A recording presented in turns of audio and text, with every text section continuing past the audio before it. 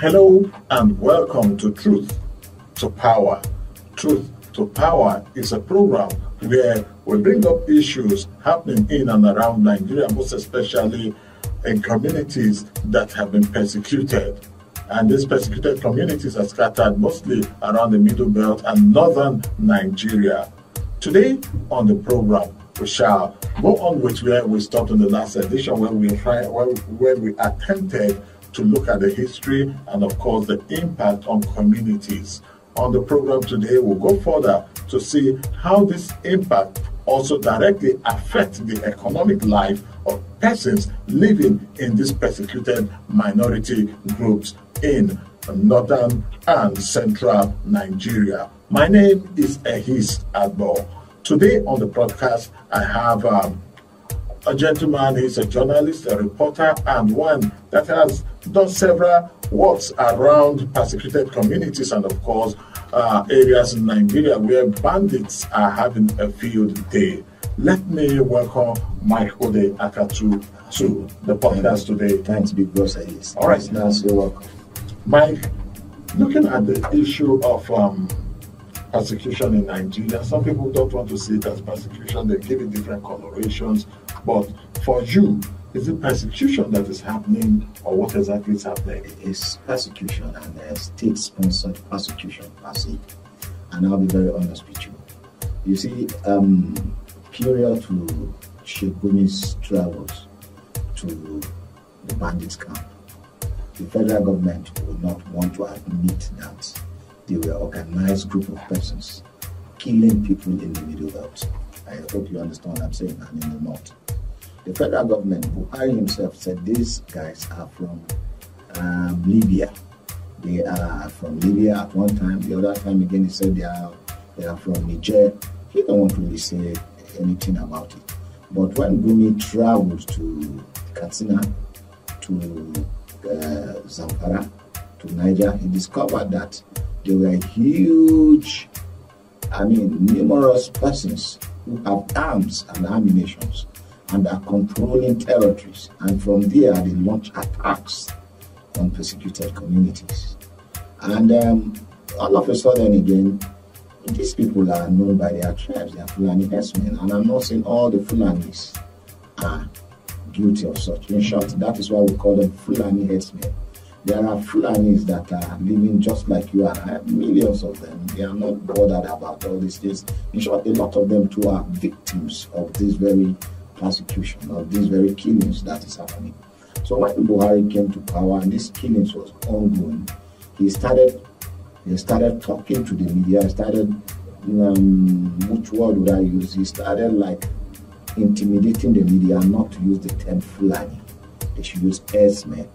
And people were wondering, why are you saying they should not use Fulanis? Why don't you call white white, speed is speed? And uh, maybe it was because of his tribe. So we later had to say, okay, it is no longer Fulani but herdsmen. But we know even the herdsmen are also Fulanis, no matter how you call them. Then the government went silent. The government never really wanted us to see these people, these people are organized and they are killing. Are you getting it?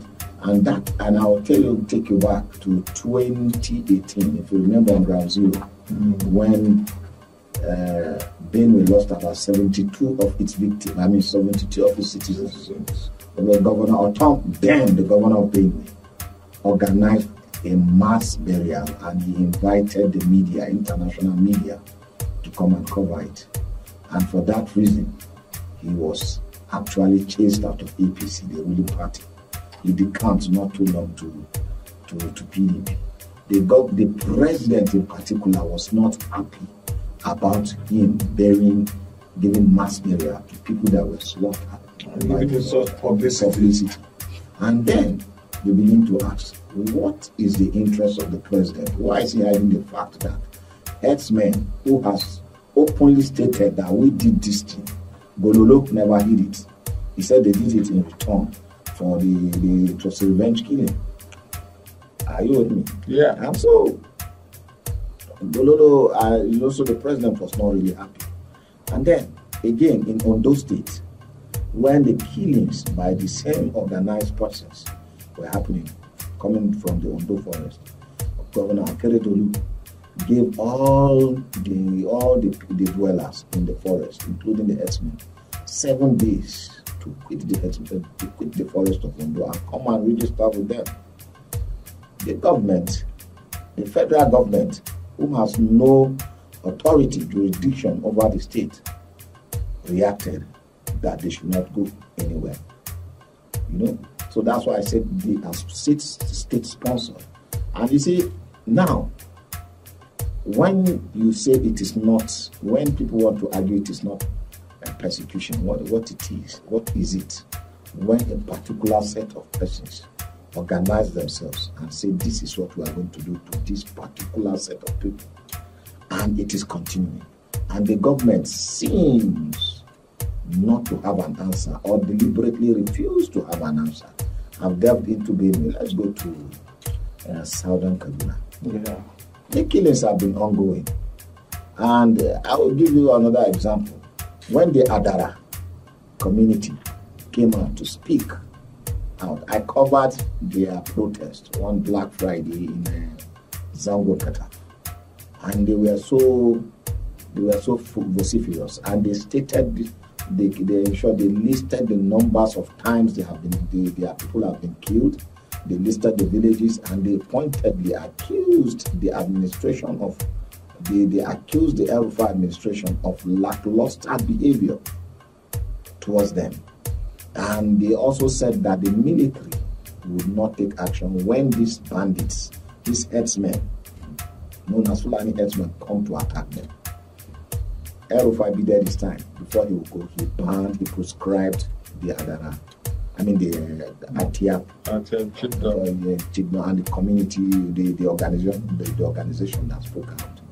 Again, El-Rufai was on Channels Television saying that Christians, Christian clerics, are fond of going to international community to say that churches have been burnt by herdsmen, so that this community, this, uh, so that um, the international community will give them money and then they can rebuild the church. And even said that the government is tracking them, taking record security agencies on them, and at a date, those people will be brought to book.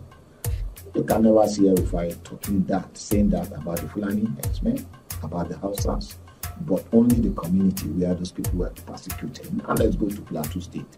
Before the coming of um, the former governor, the that uh, is Solomon Lalong. Yeah. Plateau has also been at the butt of the killings. The Fulanis were killing and they were killing and they were killing. And there is this Major General Sally, I've forgotten his other name, that was brought to, to head the task force. And the Birom youths have always been shouting that the task force under General Sule has is prosecuting or was prosecuting the Birom youths to the point of shooting them rather than shooting at the the bandits or the people kill the Fulani killing them. In those days, when you get up, it's not uncommon to hear news that 20 have been slaughtered by Fulani bandits yeah. on the plateau. 30 has been slaughtered. And my brother, Mr. Hayes, Nigeria has the land component of an armed forces. We've been to Liberia, we restored peace to Liberia, Sierra Leone. We were in Tanzania in the 60s. We fought a bloody civil war. We incorporated the East back. We were in Lebanon. We were in Somalia when the Americans failed woefully. You understand? We have, I said, we have then, we have we have more than 150,000 soldiers. Yeah. We have Air Force, we have the Navy, we have the paramilitary such as the, the civil defense who are also under arm. We have others. But the killings in Plateau defy all odds. Is it that the government is afraid of taking action? We don't know. Now, the, the killings persisted. And I will tell you something again. Jang, who was then the governor, yeah, um, raised an alarm sometimes that some people were caught carrying arms and they, they were arrested by the police. the jurisdiction of the police, the, the Plateau State Police Command, was supposed to put, put them in Plateau, those people that were caught. Yeah. But the army under Yar'Adua took them to Abuja. And I stand to be corrected.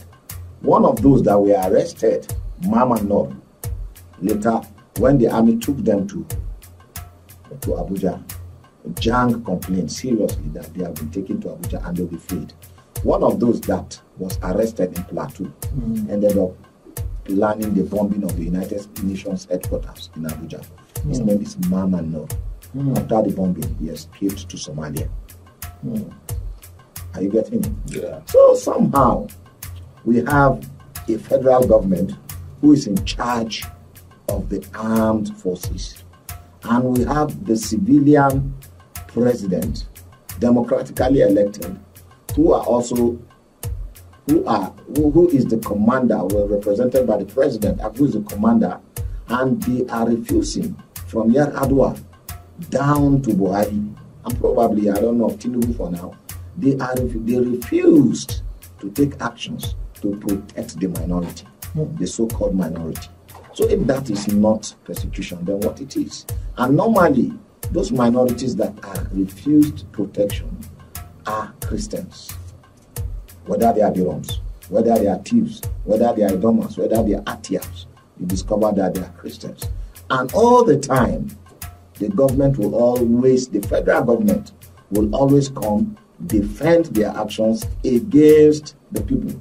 Like in the case of Plateau, when the killings was too much, uh, Shehu Garba Shehu came out to say, uh, Pla- uh, sorry, no, no, no, no, no, in the Okay, case of Southern yeah. He said Kaduna, Southern Kaduna has some of the best security networks, given all the people need to do now, they should accommodate, they should be, be peace loving, this and that, this and that. In the case of Benue, Femi Adesina, a pastor, because he was serving a master, said, if these people want your land, give them the land so that I can live in peace.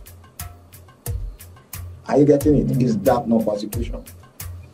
It, not, it does not only go around inside like that. Now, let's look at Kano, where some certain persons, Christian particularly, are living in fear. In those days, if there's a bomb blast in Lebanon or Israel, there's a protest in Kano Yeah. and Christians are the butt of the attack. Mm-hmm. You understand?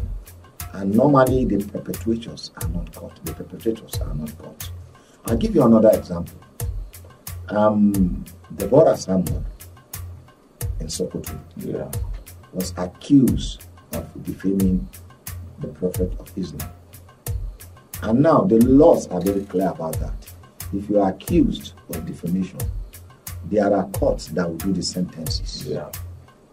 And all of a sudden, this person was not given protection. She was she was brutally murdered, burnt, and the police could not apprehend the the perpetrators. They ran to Niger Republic, so according to the police. And in recent times, when some of them were brought to the police station, they were acquitted. They were set free. You see, now I tell you again, juxtapose that with what happens in Christian community if a Fulani headsman is killed.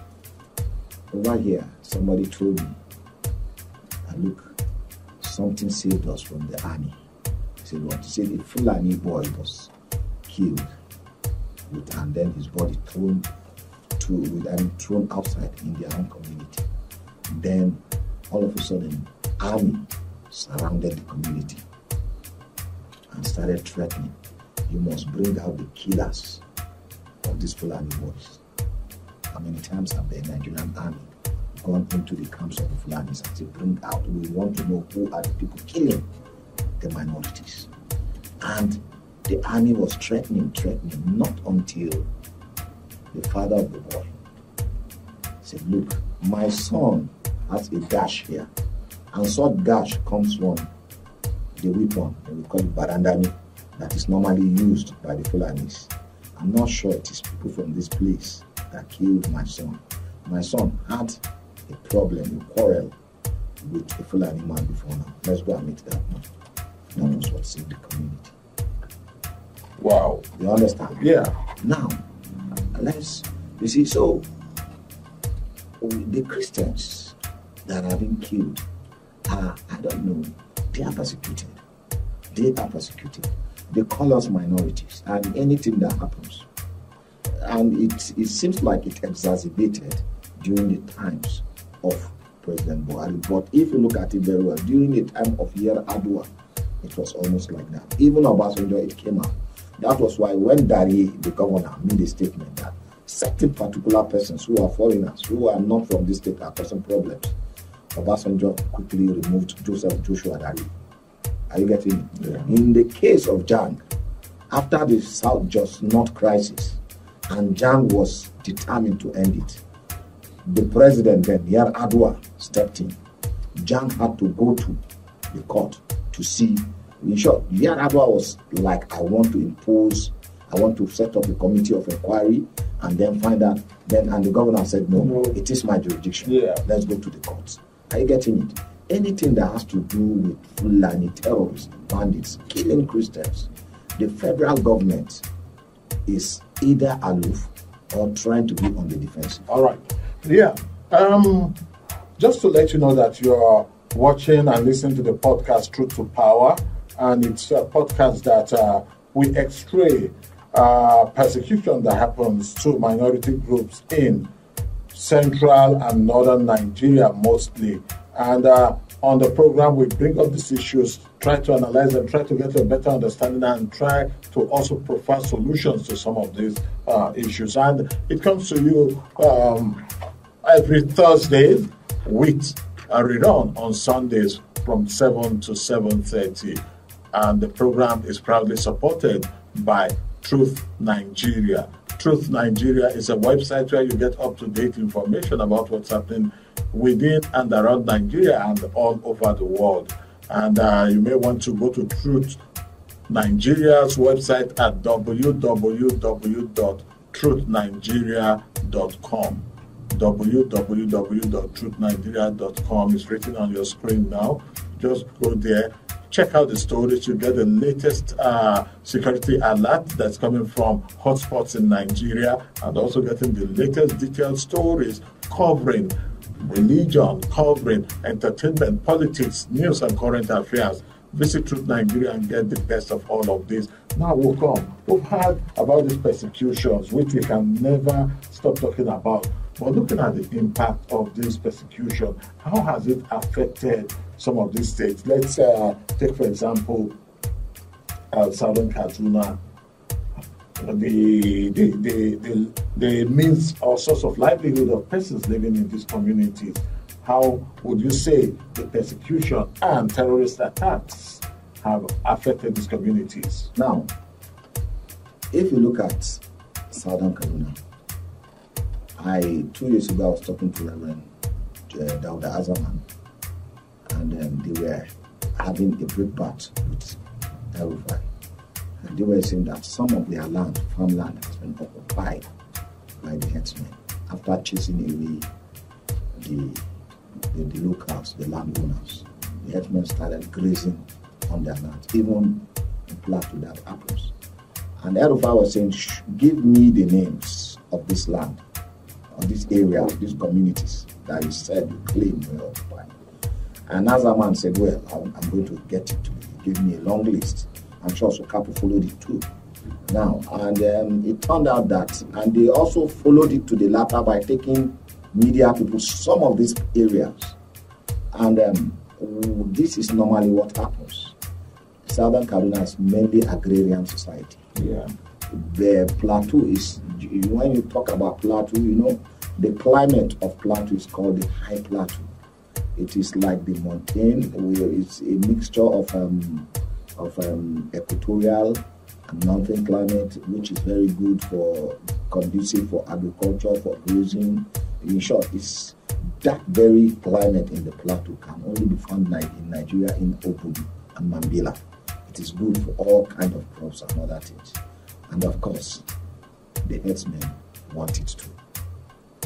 And so when communities are dislocated, a huge chunk of farmers off their land. Remember, ginger used to be the in thing in those days in Kaduna, ginger Yeah. farming. Yeah. Are they talking about ginger today? No. Because these people have been chased off their land. Hmm. Now, let's look at the impact of it, not only in southern Kaduna, even extending to Kaduna and some other areas. You see, Greenfield University was attacked by these bandits. And um, after how many days, some of them, about five students, were killed. Uh, the owner of the school almost relocated back to his village. He's from in Anambra State. He almost went back and closed down the school. It took him almost a year plus or two years to relocate the students back from where I mean from the original campus the Abuja Highway to where he is now. Now, huge amount of money has been lost. Equipments are lying shallow over there. Yeah. Are you getting it? Not only that, Bethel School that was also kidnapped. Or close to about two years in about two years now. Some of these children have not been found, they are still in captivity. A lot of parents are wary, are scared of taking their children to school. I'm a parent. I have four, five lovely kids. Every morning, I would, in those dark days, I was scared of allowing my kids to go to school. And you know where I live. So I had to tell my wife, I don't want there's a there's a uh, there's an international school along that way, and uh, it's very close to the highway. So I told my wife. My wife said, let those kids go. I said, no, no. I take them to the other to the part to the remotest part of of the I mean of the community. And then mm. we can, put them in school. The everyday parents are scared about the safety of their children. Now, a community where people are not living in peace, where people are not having peace of mind, no trading. If you go to Oil Village, Oil Village along this NNPC, which is almost the tail that will be replicated down to southern Kaduna, people have absconded from their communities. If you go to Bonumbora, Lion from here and the rest, you discover that in the morning you see people around. In the evening, it's empty houses. You move to the other side. Side. Yes. The same thing happens in Oya Village. They'll tell you that I was speaking and I have a, I was speaking to a woman and she said since her husband was was executed, was shot point blank, she had to leave her business, her farm, everything, and then move away to another part.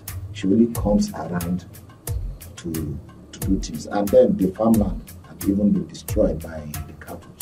You know, when you go to southern Kaduna, um, uh, a lot of these stories are there. Now, farming is the mainstay of the people in that area. So once you touch farming, You have touched you everything. touch everything. Now, education prepares the children for tomorrow. If you touch their educational pursuits, you've touched their future. Yeah. so economically. And then we cannot quantify the billions of nairas. The ginger is an exporting crop. It's a it's a cash crop that, that, that you can export and you make money. I know me. I know. I mean, many persons that have made millions out of it. But today it is moribund. You know, it's no more lucrative as it is because people are scared, and you know the price. And you know, people are no longer going to farm. So we're talking about not even life lost alone, every life is worth it.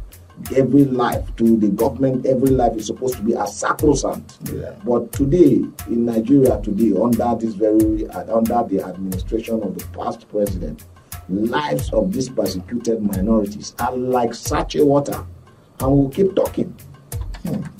And uh, we'll be wrapping up the program now, but before we do that, I'd like to get um, this uh, advice from uh, you in respect of how you think um, this issue should be solved, or what do you think needs to be done to uh, curtail the persecution of minority groups in Nigeria.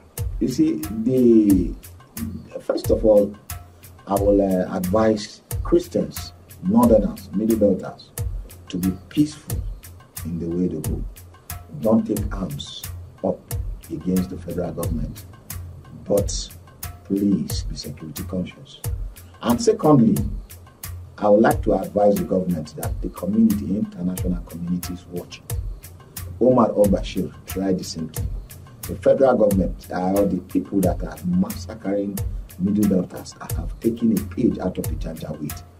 That's just the plain truth. But the federal government is watching. And if we continue to highlight the killings that is taking place, one day a lot of people will stand trial at the Hague or ICC. I can assure you that. Again, I will advise the federal government to kindly know that the people that they are persecuting are their, I mean, they are allowing to be persecuted are their next door neighbor. They voted them into power. That is just the plain truth. We are not actually minority. When you go to Benue, we are in the majority. When you go to Southern Kaduna, we are in the, major, the majority. When you go to Plateau, they are the majority plus one. When you go to Taraba, they are the majority. When you go to uh, Bauchi, Gombe, Axis, and the rest, you find huge numbers of Christians. I think in those states were merged together, you discover that that state would have been producing Christian, but they were split. Are you getting it? So when you, you look at the case of Zulu, Zulu was actually removed from Niger to decrease the population and taken to Kebbi. You understand? So we are not, if the Christians are in the north, they are that much, then they are not minority. Then secondly, my advice to Christians is this, especially to journalists. I guess you are doing a great job Thank you. by bringing out these things. You see, um, in Baggy Villa to May 28, 27, about seven churches were pulled down Villa. Dagivila is a community, a suburb in uh, local government. local government of Kaduna State. Seven to eight churches were pulled down. Only Israel Bulus of Punch newspaper, Gabriel Dibia, and I were there to cover it up. The other organizations, television stations, never went. They never bothered to carry the story. And we were putting it that so persons, these churches have been pulled down. As of the time I left that place, two persons were shot. And the reports we were getting, two others were killed, others were being killed, and pictures, gory pictures were coming out. The media, which is also dominated by Christians, refuse to carry it. They are afraid. So, if the, my advice to the media is, what will it cost you to gain the whole world, but you lose your soul? Because when they come after the, the Catholics and you refuse to talk because you are not Catholic, by the time they come after you, by the time they are done with the Catholic, they come after you. So the media needs to highlight the persecution and call it, don't call it black white. If it is the Fulanis that kill, the Fulani herdsmen, say it's the Fulani herdsmen that is killing. If the army did not take action on time, say if the army social time did not come on time, and if it is the Christians that are killing or have stolen cattle, you be objective about it. Say the Christians have stolen these people's cattle. They are wrong. Let's be just. Let's be fair.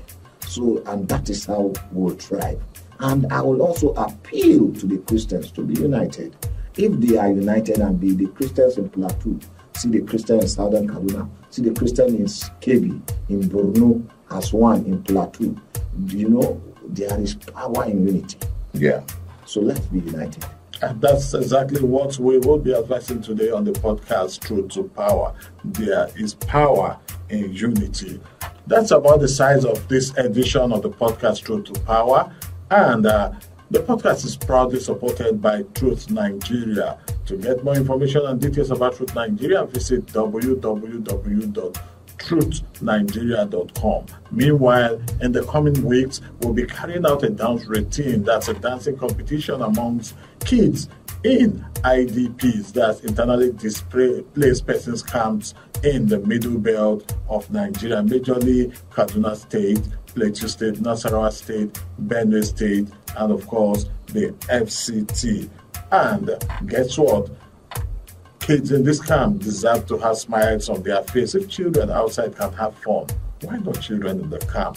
Let's see how we'll make this happen. And Truth Nigeria will be bringing out details of this also in the coming week. My name is Ehis Agbon.